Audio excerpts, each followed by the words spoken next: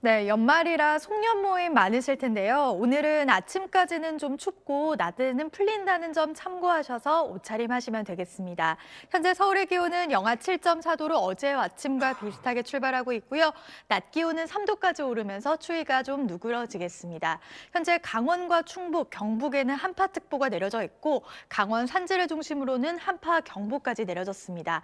여기에 대기까지 무척 건조한데요. 서울과 강원 일부 지역, 부산과 울산을 중심으로는 건조주의보가 내려졌습니다. 각종 화재 사고 유의해 주시기 바랍니다. 오늘은 미세먼지에도 신경을 써주셔야겠습니다. 오늘 경기도와 충북은 종일 나쁨 단계가 예상되고요. 수도권은 오전 한때 미세먼지 농도가 짙어질 수 있겠습니다. 낮 기온 보겠습니다. 오늘 서울과 춘천이 3도, 청주가 4도 예상되고요. 대구 7도, 부산은 10도가 예상됩니다. 일요일인 내일은 전국에 또 한 차례 눈비 소식이 있습니다. 날씨였습니다.